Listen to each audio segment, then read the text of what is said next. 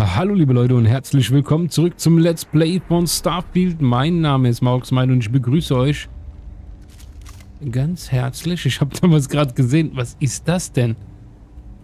Sarah, schieß den ab. Knall ihn ab da. Das sind mehrere. Oh mein Gott, was sind denn das für Kreaturen? Sehen die überhaupt? Wo haben sie denn ihre Augen? Liebe Leute, wer noch nicht geliked hat und abonniert, kann es gerne machen. Liken, abonnieren nicht vergessen. Und wir kommen hier im Programm. Und da hinten ist der Computer, um die Tür zu öffnen wahrscheinlich. Hm, wir könnten das machen. Aber ich würde, Entschuldigung, ich würde erst... Das würde ich gerne machen. Pass mal auf. Inform... Infonomie, was macht die? Äh, physisch Energie. Splittergranate. Splittermine. Wir haben davon ein paar Stück. Guck mal. Weißt du was? Wir nehmen das. Äh, und setzen die mal. Eins. Zwei. Sarah, pass auf. Wenn die rauskommen, ne? Glaube mir, Sarah. Egal wie. Die haben überhaupt keine Überlebenschancen. Wir machen die nämlich hier fertig damit. So. Warte mal, Sarah, lass mich mal gucken, was das hier überhaupt für ein... Ah, da stand dein Name gerade. Kennen. Wie heißt es denn? Äh, unreife Schiff... Schiffskakerlake. Ach so, okay. Hast du das gesehen, Sarah? Unreife Schiffskakerlake ist das. Komm mal mit, Sarah. Wir gehen mal in den Computerraum hier hinten rein.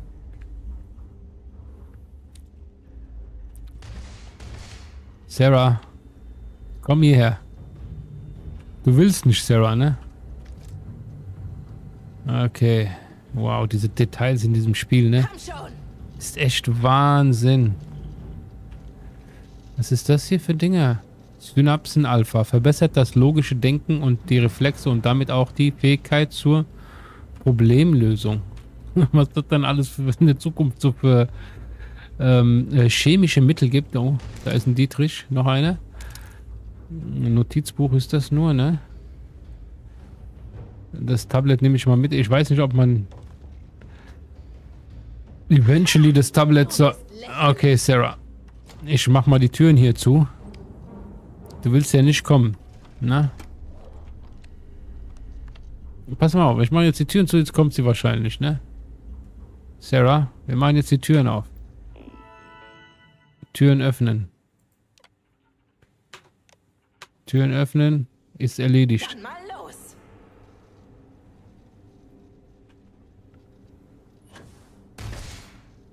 Jetzt kommt er zu dir, guck. Der erste ist schon mal weg. Ja, da kommt der zweite. Er wird auch sein Glück versuchen. Nein. Da waren die zu viel zu stark nebeneinander. Oder Sarah? Wo bist du denn?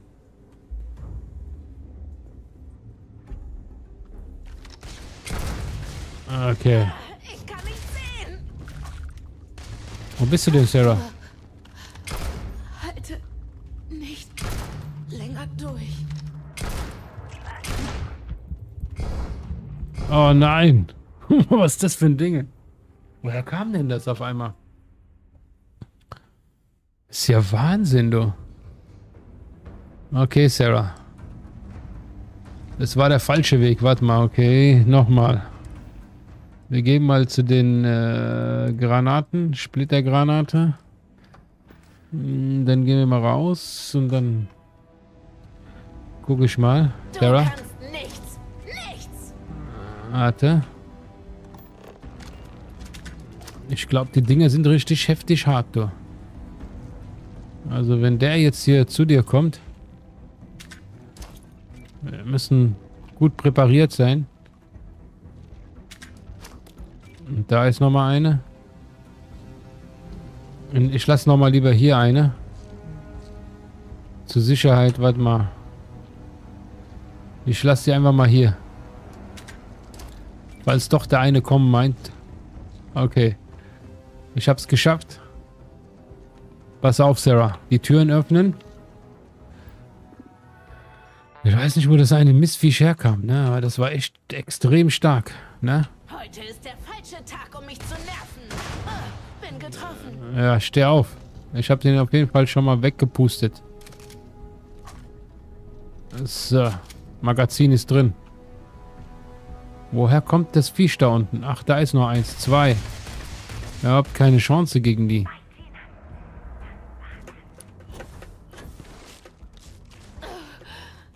Was war das?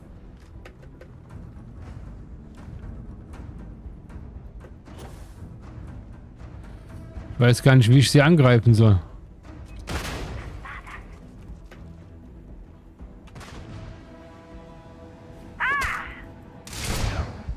Oh nein.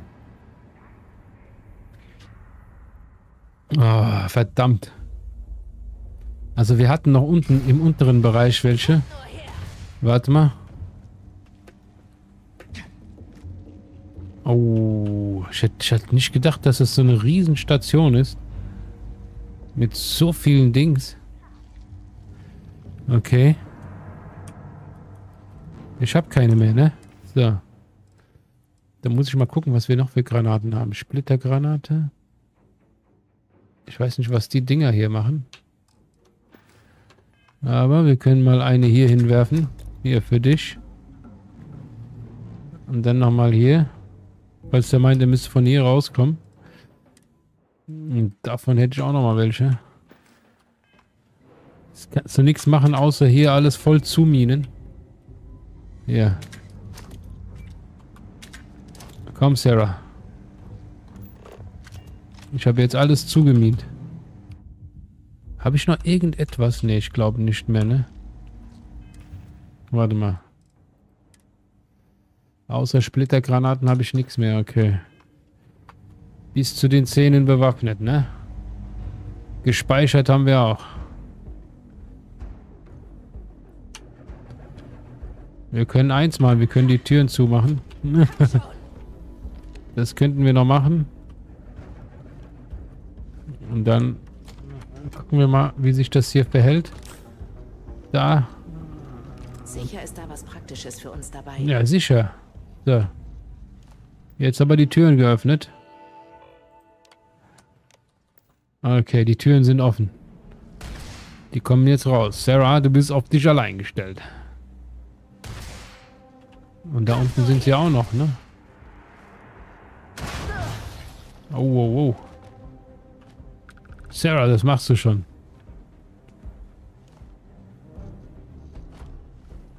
Achso, ein Stifthalter habe ich schon gedacht. Was ist denn das denn? Symphonie einer wenigen Nacht, okay. Was? Symphonie einer wenigen Nacht. Symphonie einer wenigen Nacht. Also ein Gedicht. Alles klar. Sarah, die wollen nicht rauskommen da unten, ne?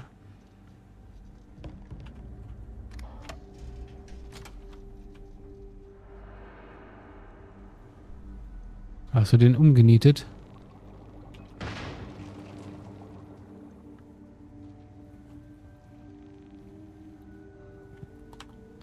Bis hierhin ging alles gut, Sarah. Okay. Nehmen wir mal die, äh, gucken wir mal. Okay. Okay, Sarah. Unten ist noch, da sind noch diese Viecher unten, ne? Ich sag dir das. Warte mal. Wir nehmen das. Jemand schießt noch, glaube ich, auf uns. Ich bin mir aber nicht sicher.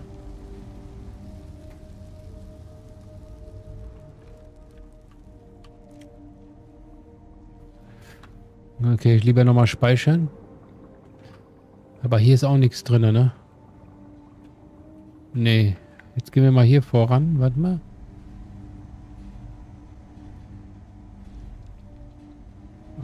Okay. Die müssten jetzt nur noch hochkommen, Sarah. Warte mal, die, der wird auch hier hochkommen. Das verwette ich mit dir. Aber oh, ich hab's doch gesagt.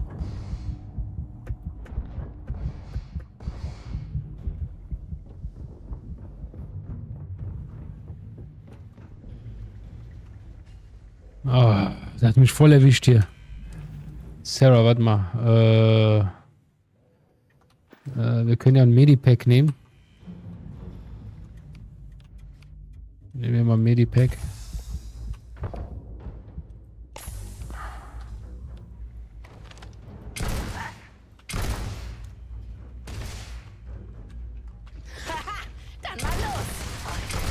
Jawohl. Wir haben ihn erledigt, Sarah. Was das auch immer, Schale. Okay. So sehen die also von innen aus. Junge Haken, äh, Hakenschädling. Da unten ist noch einer.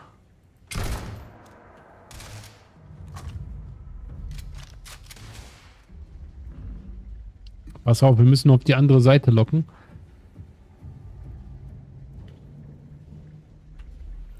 Äh, Sarah, warte mal, ich gehe mal hier rüber. Vielleicht folgt er uns auch. Das wäre nämlich möglich.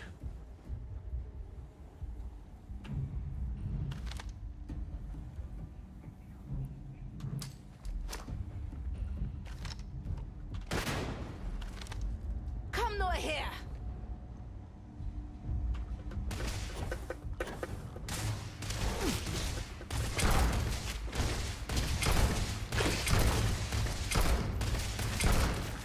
Ja, wir haben ihn erledigt, Sarah.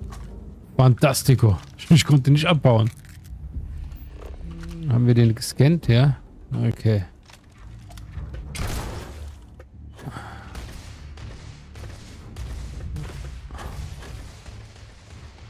Ich komme, Sarah, warte. Sarah hat ihn einfach erledigt. Du bist crazy, Sarah. Okay. Haben wir. Gut. Ich guck mal, Sarah, ob wir noch irgendwo was einsammeln können, was wir... Nein, die ganzen Granaten... Die haben wir verwendet, komm. Wir gehen mal hier runter vorbei. Äh, die sind aus beiden Löchern rausgekommen. Guck mal, hier haben sie die gehalten in den Käfigen. Ach, da war ihr Futter. War eine Forschungszwecks... Äh. Ja, mit sonderbaren Sachen hier geforscht, muss man auch sagen. So, wir gehen mal hier entlang. Aha, da ist noch eine Waffe, die wir mitnehmen können. Munition. Ähm, haben wir noch sonstiges hier? Nee, eigentlich nicht, ne? Aber wenn wir hier entlang... Nee, da ist auch nichts. Und hier? Medizinischer Injektor. Wer weiß für was, irgendwelche Forschungszwecke, die wir noch benötigen. Drahtspule nehmen wir auf jeden Fall mit. Ah, was ist das hier für ein Sicherheitsschloss? Ah, so. Können wir leider nicht knacken. Geht nicht, okay. Äh, ich glaube hier...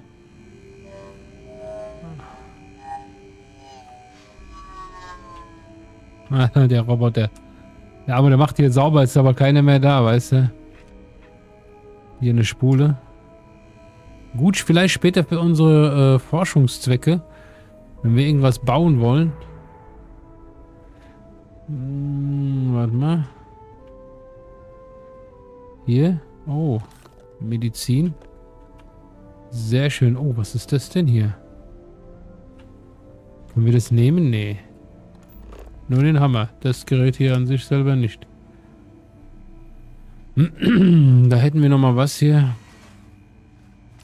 Okay, das können wir mitnehmen. Im unteren Bereich waren wir ja noch gar nicht hier, ne? Das, das, da sind wir gerade am gucken.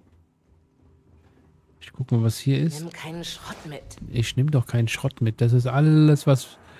Wir können das alles verkaufen. Weißt du, was ich meine, Sarah? Hier ist noch ein Wissenschaftler. Der hat ein bisschen Credits. Oder sie hat ein bisschen Credit. Ah, Mikroskop nehme ich mal mit. Ich weiß nicht, wozu das gut sein soll. Vielleicht kann man das zerlegen dann daheim. Und dann... Äh, oh, hier ist eine Kiste. Kiste leider leer. Bisschen Medi. Äh, Flasche nehmen wir mal eine mit. Oh, oh, oh, oh. Haben die die gefesselt hier? Nee, achso, das ist nur... Sah so aus, als wäre sie gefesselt gewesen, aber... Kaffeetasse brauchen wir nicht. Ähm, Kuchen und Outfit. Laborkleidung. Ja, wenn du noch eine Laborkleidung hast, ja da drinnen, nehmen wir die mal gerne mit. Warum denn nicht? Forschungsunterlagen, Fauna. Okay. Klassifikation. Bei der Kat äh, Katalogisierung neuer Fauna bitte folgende Präfixe verwenden. KV, Carnivore, HV, Herbivor, OV, Omnivore. Wenn sich nach weiterer Analyse zeigt, dass eine Klassifizierung abgeändert werden muss, dann bitte einfach mit den üblichen Nomenklatoren neu kategorisieren. Der Nominierung nachfolger folgender Arten im Katalog darf nicht verändert werden. Taxonomische Unterarten erhalten ebenfalls das neue Stammpräfix, zum Beispiel HV 44-001. Interessant. Forschungsunterlagen. Bei der Erforschung von Fauna ist der Organismus in sämtliche Entwicklungsphasen zu studieren.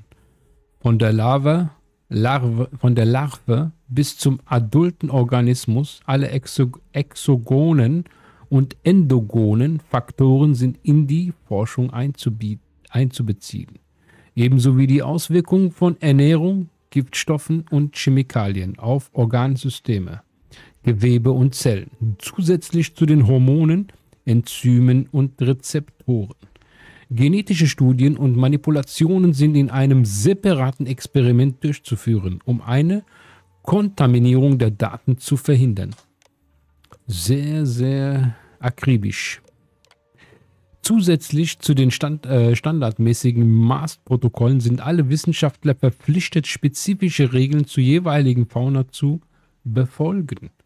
Die Sicherheit der Forscher sowie ihre Familien und des übrigen Personals darf nicht durch Sorglosigkeit gefährdet werden. Da stimme ich zu. So, Flora. Primäres Ziel. Bereitstellung verwertbarer Daten zu allen Gebieten der pflanzlichen Xenobiologie, einschließlich Ökologie, Evolution und Psychologie, sowie zu den Ökosystemen, in denen die Flora gedeiht. Den Abteilungen werden Fachleute in bestimmten Bereichen zugewiesen, ob Pflanzen, Algen, Pilze oder Flechten. Laboranalyse VP-0184.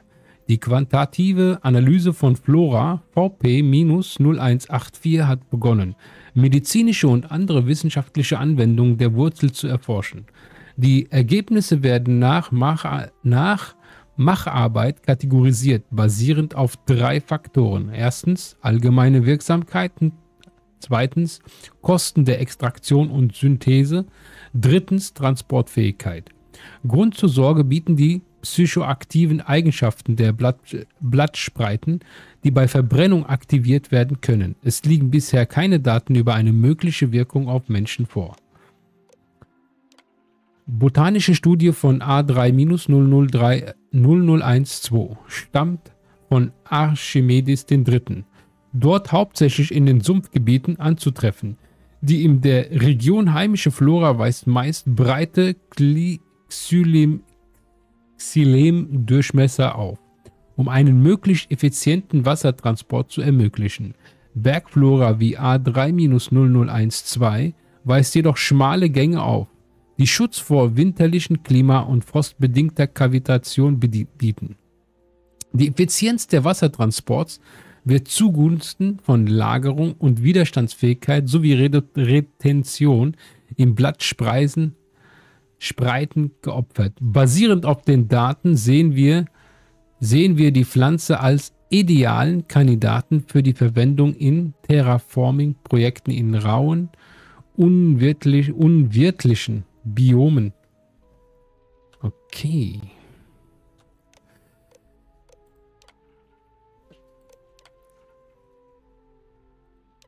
Forschungszweck Erkundung der molekularen Mechanismen, durch die sich die Verbindung GAX auf das Tumorwachstum auswirkt.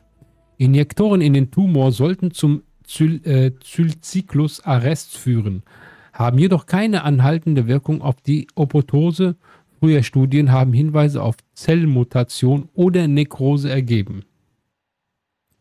Es handelt sich hierbei vermutlich um isolierte Einzelfälle. Angesichts des Wertes verschiedener Proben wird jedoch mit größter Vorsicht vorgegangen. Hyp Hypothese. Der vorläufige Daten die vorläufigen Daten zeigen, dass der in den Epithelsen des Gallengangs gefundenen Krebs in den meisten Arten extrem bösartig ist. Die aus dem Drüsen von Flora-Spezie A2 6V gewonnene Verbindung GAX mit nicht synthetischen DNA-Molekülen Genom X könnte eine vielversprechende Tumor-Suppressor sein. Vorläufige Schlussfolgerung. In vivo-Studien an genetischen modifizierten Fauna zeigen eine Verringerung des Tumorwachstums um 15%. In Kombination mit einem genetischen Inhibitor multipliziert sich dieser Wert von einem Faktor von 2. Zusammenfassend kann gesagt werden, dass, diese, dass dies eine theoretische Basis für weitere Studien darstellt. Es wurde eine Finanzierungsfrage bei den leitenden Maßstellen eingereicht.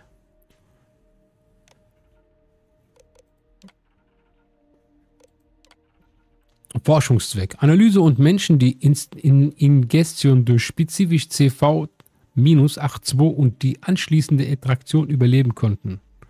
Das Experiment besteht aus einer Messung der Werte häufiger Verdauungszynyme, Zungengrundlipase, Magenlipase, Branchiasanalyse sowie verschiedene Säurenwerte über einen längeren Zeitraum hinweg. Durch post, postexperimentelle Vivisektionen werden die Enzymausscheidungen, Enzymausscheidungen und die Drüsenstruktur in Magen, Pankreas und Dünndarm von Spezies CV82 untersucht. Basierend auf der Patientenakten und ankoditischer Evidenz ist davon auszugehen, dass eine Injektion Ingestion durch Spezies CV-82 überlebt werden kann, weil das Verdauungssystem der Spezies langsam arbeitet und auf Speichel Amylase basiert, die Gänge Stoffe nicht durchdringen kann. Das Experiment beinhaltet keine Fälle, bei denen die Versuchsperson während der Ingestion, Ingest, Ingestion un, umge, um, äh, unbekleidet waren. Bei der Dubi-Versuchsperson in vollen Anzug trag keinerlei Zersetzung der äußeren Stoffschicht durch Magen- und Zungengrundlipase auf. Die Petidasen des Pankreas führten nach verzehnten 14 Stunden allerdings zu Schäden. Die maximale Überlebensdauer wird auf 6, 16 Stunden geschätzt. Diskussionsforum, Verwalterin Chapters. Ich habe Anmerkungen bezüglich Helena Chappers erhalten und tue mein Bestes, um all eure Bedenken bei unserem nächsten Meeting auf den Tisch zu bringen. Ich verstehe, warum es schwierig sein kann, jemanden ohne wissenschaftliche Hintergrund Forschungsentscheidungen zu, zu überantworten. Aber bitte, denkt daran, dass wir letztendlich alle am selben Strang ziehen. Dr. Ricardo Bosch. Missbrauch von VP-0184. Hey Leute, ich will ja kein Schwarzseher sein, aber ich habe mir doch etwas Sorgen wegen der psychoaktiven Eigenschaften von Spezies VP0184 und einem möglichen unfreiwilligen Missbrauch.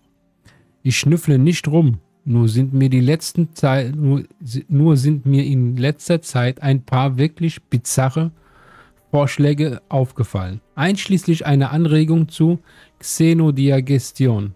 Ich will niemanden an den Pranger stellen, aber wenn interessiert es, wie lange jemand im Magen eines Predators überleben kann. Die Ressourcen der Mars lassen sich besser einsetzen, Leute. Das sehe Ricardo sicher auch so.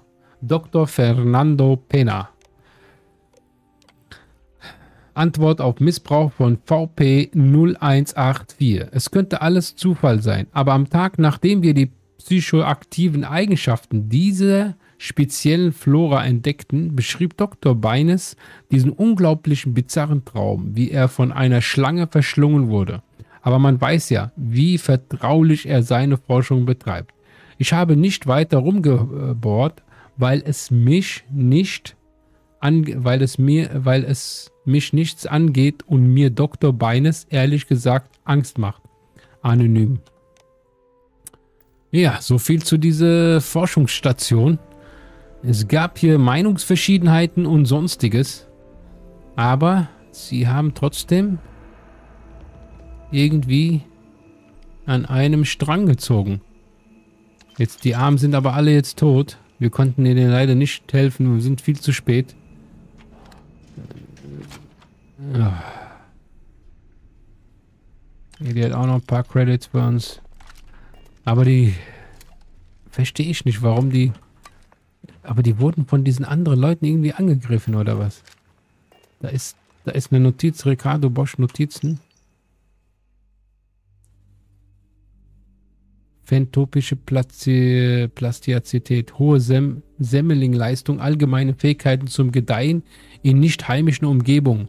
Plastitätsgrad A. Aufgrund der allgemeinen Anpassungsfähigkeit an bekannte Biome und der Beständigkeit im künstlichen Lebensraum. Blatt- und Stilan äh, Stilanatomie. Die DNA-Sequenzierung und die De Dekonstruktion der morphologischen Daten zeigen eine starke xenonbiologische Struktur. Elektrono Elektronenmikroskopische Scans und vorläufige Daten zu chemischen Reaktionen auf Stimuli deuten darauf hin, dass dies ein Kandidat für weitere Studien sein könnte. Okay, das nehmen wir mal mit als Beweis. Wer weiß, was wir da mit noch machen können. Aber so, so ein Drink könnte ich auch mal zu Hause gebrauchen, ne? Ich muss ja auch mal ein bisschen äh, Stoff mitnehmen.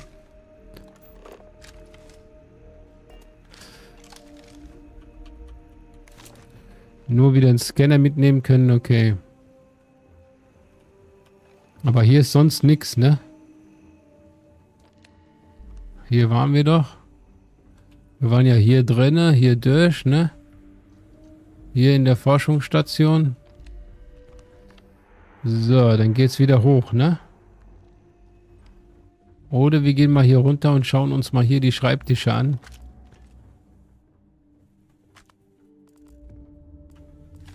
Nehmen wir den mal mit. Ein paar Bücher haben wir hier.